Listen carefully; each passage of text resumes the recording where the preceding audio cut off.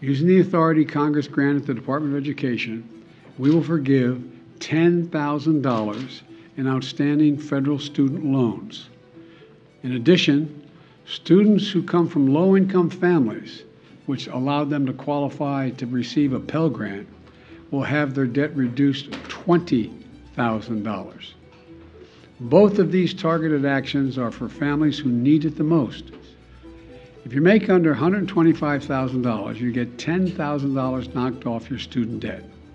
If you make under $125,000 a year and you received a Pell Grant, you'll get an additional $10,000 knocked off that total for a total of $20,000 relief. 95% of the borrowers can benefit from these actions. That's 43 million people. Of the 43 million, over 60% are Pell Grant recipients. That's 27 million people who will get $20,000 in debt relief.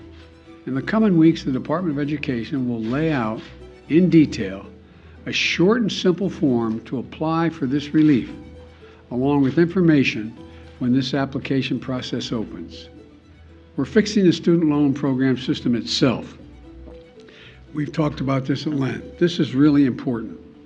We're proposing to make what's called an income driven repayment plan simple and fair. And here's how no one with an undergraduate loan today or in the future, whether for community college or a four year college, will have to pay more than 5% of their discretionary income to, re- to repay their loan. That's income after you pay the necessities like housing, food, and the like. You currently pay 10%. We're cutting that in half to 5%. And after you pay your loan for 20 years, your obligation will be fulfilled if it hadn't already been fulfilled, meaning you won't have to pay any more, period. And borrowers whose original balance was less than $12,000, many of whom are community college students, will be done paying just after 10 years.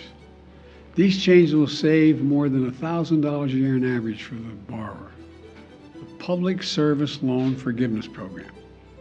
Now, this program forgives student loans to encourage those students who have those loans if they go into public service. Think of the millions who are public school teachers, local police officers, workers at local charities, members of the military and the National Guard, and so many more. Think of the folks who work for federal, state, local, tribal governments, keeping essential services going, responding to natural disaster, all those firefighters and cops. The program is designed so that if you serve in one of these jobs, and we'll be able to list those and you'll be able to accurately assess whether you do, and make your loan payments for 10 years, even if it's not consecutive years, your remaining balance will be completely forgiven. The Department of Education has recently proposed changes that will make this program work better and over the long term, much better. And now the department issues emergency temporary changes to retroactively credit public service so accounts and loans are forgiven. Since I've been in office, more than 175,000 teachers, nurses, police officers have been able to get over $10 billion in loan forgiveness so far through this program. But this opportunity expires on October 31st, 2022. Go to PSLF gov before October 31st to see if you qualify for public service stu- student loan forgiveness. And one more big change we're making to the system is we're holding colleges accountable. We're going to continue to fight for doubling the Pell Grants. I didn't get that done this time. Let me say it again 12 years of universal education is not enough. I'm going to continue to work for universal pre K for every three and four year old and Universal Community College for Education beyond high school.